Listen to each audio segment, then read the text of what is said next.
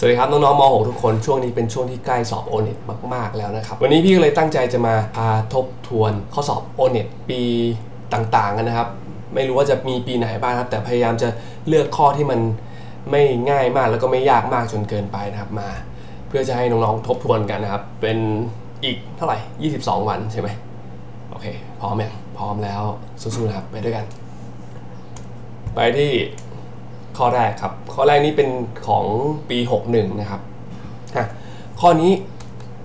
เห็นไหมครับว่ามันจะมีเครื่องหมายค่าสมบูรณ์นะ เราก็ไปทวนก่อนนะครับว่าเครื่องหมายค่าสมบูรณ์เนี่ยมันทำอะไรบ้างครับ เช่น absolute ลบ5หรือค่าสมบูรณ์ลบ5เนี่ยมันออกมาเป็น 5 ใช่ไหมค่าสมบูรณ์ของ 5 ก็ออกมาเป็น 5 แปลว่าอะไรครับ เลขอะไรก็ช่างที่อยู่ในค่าสมบูรณ์ผลลัพธ์ออกมาต้องเป็น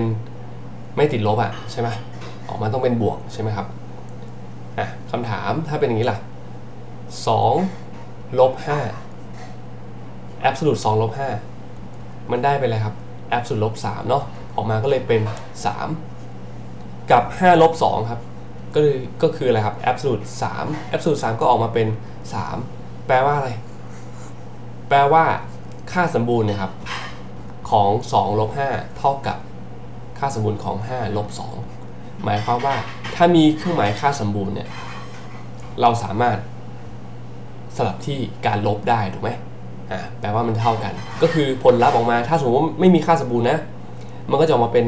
5ลบ2ถูกไหมซึ่งมันเป็น 3 มันจะออกมาเป็น2ลบ5ไม่ได้ เพราะว่า2ลบ5มันจะเป็นติดลบ3เนาะตามนี้นะครับ เพราะฉะนั้น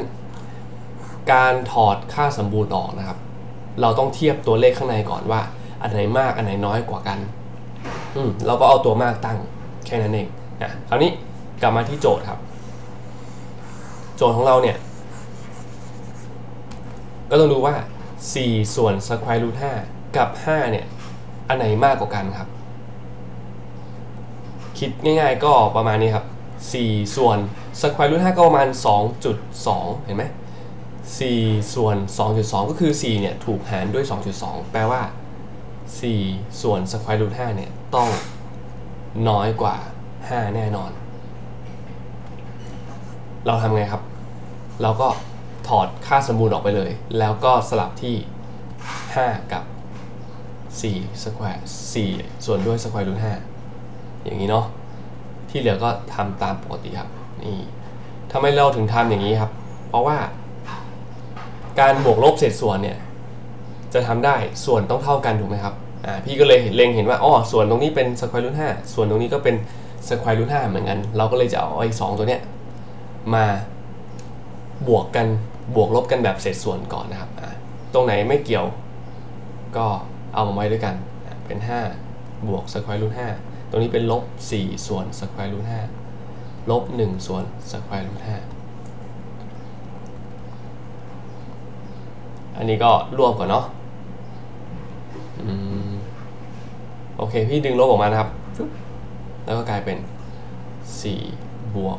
1 ส่วนด้วย square root 5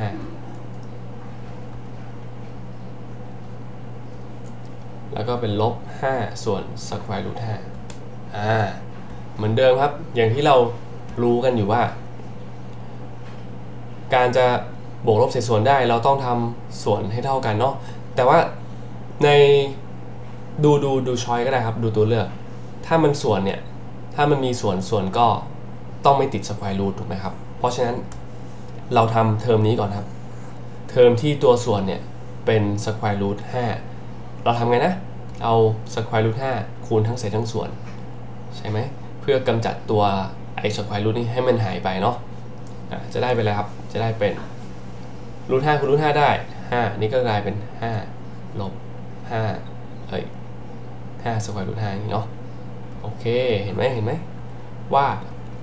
5 ตัดกับตัวนี้ได้ บรรทัดสุดท้าย บรรทัดเกือบสุดท้ายครับกลายเป็นอะไรครับ 5 บวก square root 5ลบ square root 5อันนี้ก็เลยลบกันหายไปข้อนี้ตอบ 5 นะครับ อืมแสดงว่าข้อนี้นะครับน้องจะทำได้จะต้องมีพื้นฐานเกี่ยวกับค่าสมบูรณ์เนาะ รื่องหมายค่าสมบูรณ์ แล้วก็บวกลบเศษส่วน แล้วก็สแควร์รูท